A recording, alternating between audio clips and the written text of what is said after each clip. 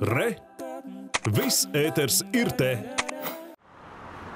Latvijas Nacionālajā mākslas muzejā rīt tiks atklāta Dzintras Vilks personāla izstāde Klusā daba ar gaiputnu, kur mākslinieces iemīļotā dabas tēma cieši savīt ar politiski aktuālajām izjūtām. Mākslinieks laikam ir uh, mazliet intuitīvs. Vienu dienu iepriekš, pirms tas Putins jau paziņoja ja, par saviem nodomiem, par ko man arī sāp sirds, par to, kā lielais brālis mazo brāli.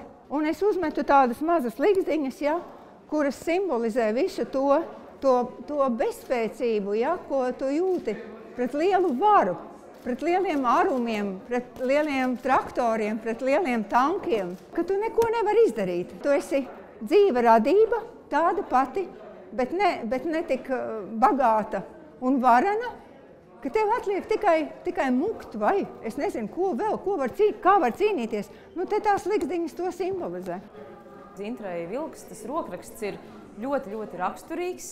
Tāds pat saudabīgs, varētu teikt, ļoti orientēts uz dabu, uz dabā atrodamiem materiāliem. Tas ir laikmetīgums, bet tā nav tāda kā sekošana laikmeta tendencēm kas ir jāparāda mākslā. Tas ir vienkārši tas, ka mākslinieces pašas lietas, kas viņu uztrauc, tās problēmas, ko viņi saskata mūsdienās, tas sakrīt ar to laikmetīgo. Lūk, mūsu mazie brāļi putni, cerības simbols. Šoreiz kā kovārņu bars sasēdis koku zaros pie dzintras vilks mājām. Savukārt šis tekstildarbs veltījums dzimtas stiprajām sievietēm, mātei un vecēmāmai, radīts no pārstrādātajiem vilnas dzīs apģērbiem, kas nes daudz cilvēku enerģiju. Skatītājs mākslinieci aicina uz sarunu ne tikai par dabas skaistumu un varenību, bet galvenokārt par mūsu katra personisko atbildību un spēju ieraudzīt dzīvības nozīmi.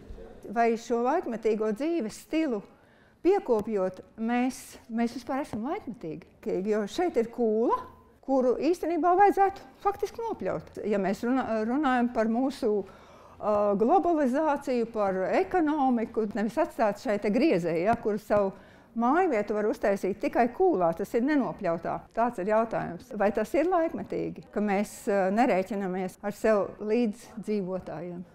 Dzintras vilks personāla izstāde Latvijas Nacionālajā mākslas muzejā būs atvērta līdz 8. maijam. Aneta Lesīte, Lauris Dundurs, Latvijas televīzija.